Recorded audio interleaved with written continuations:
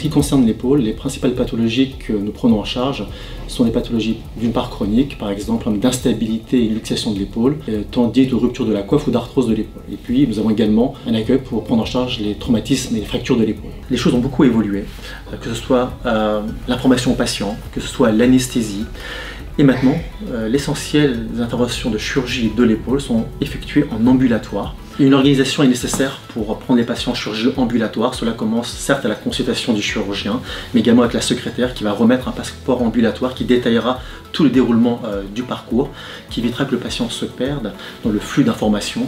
Donc nous remettons des informations sur la douleur, nous remettons des ordonnances que les patients euh, pourront exécuter avant de revenir se faire opérer, car certains seront pris en charge en ambulatoire. Aujourd'hui, je devrais dire même la majorité seront pris en charge en ambulatoire, c'est-à-dire ils arriveront le jour même de leur intervention et ressortiront la même journée. Le patient va être reconvoqué avec une date opératoire qui va être fixée par euh, le chirurgien. Le jour de l'opération, le patient va se présenter dans le service ambulatoire lorsque sa prise en charge est ambulatoire. À son arrivée au bloc opératoire, où il se présentera debout, pour respecter le plus possible l'autonomie de nos patients, il sera accueilli par l'anesthésiste qui le prendra en charge et qui l'aura souvent rencontré à la consultation d'anesthésie. Une fois la perfusion mise en place, l'anesthésiste va réaliser l'anesthésie locale.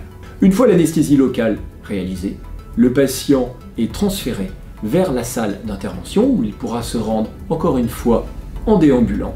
Il sera installé confortablement sur la table et l'intervention pourra débuter si celle-ci n'a lieu que sous anesthésie locale ou une anesthésie générale sera effectuée d'abord, puis le patient confié au chirurgien. Il est important pour pouvoir prendre des patients en chirurgie ambulatoire qu'il y ait des pôles d'excellence chirurgicaux avec de nombreux chirurgiens. Par exemple, à King Journée, nous sommes une douzaine de chirurgiens, tous aptes à prendre les problèmes de l'épaule en ambulatoire, mais cela euh, fonctionne grâce à une organisation de groupe, euh, que ce soit dans la clinique ou dans le groupe en général, euh, grâce à des anesthésistes qui sont parfaitement rompus à l'anesthésie spécifique effectuée en ambulatoire, mais également aux soins infirmiers et à la prise en charge des kinésithérapeutes avant, pendant et après le parcours ambulatoire.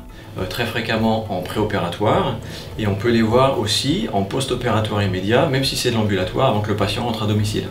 Et puis à distance, on peut aussi euh, les prendre en charge pour la rééducation euh, voilà, sur un plus long terme on leur envoie un SMS la veille pour leur dire leur heure de convocation pour l'intervention, de façon à ce qu'ils n'attendent pas le jour J euh, plusieurs heures. Le lendemain de l'intervention, il aura un appel pour savoir comment il va. S'il n'est pas trop douloureux, bien évidemment, c'est la douleur, c'est un facteur très important pour le retour à domicile. Si jamais il était trop douloureux, on, essaie, on joint l'anesthésiste pour lui demander conseil par rapport à ça le patient qui sort le jour même de son intervention, il sait que s'il a besoin de revenir pendant la nuit, si jamais il est trop douloureux, il a une chambre de réservée. Et euh, sur ces trois années où on, a fait de la chirurgie de l'épaule en ambulatoire, et on a eu deux patients qui sont revenus, ce qui reste extrêmement peu puisqu'on fait énormément d'épaules en ambulatoire.